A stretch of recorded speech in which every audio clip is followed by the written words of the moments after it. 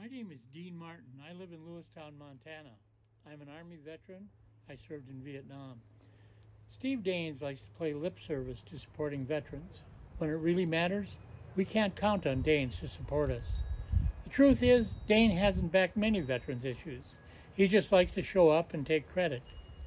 Daines tried taking credit for funding for the Veterans Home in Butte, posting photos on social media of himself attending the groundbreaking, despite voting against funding for the center.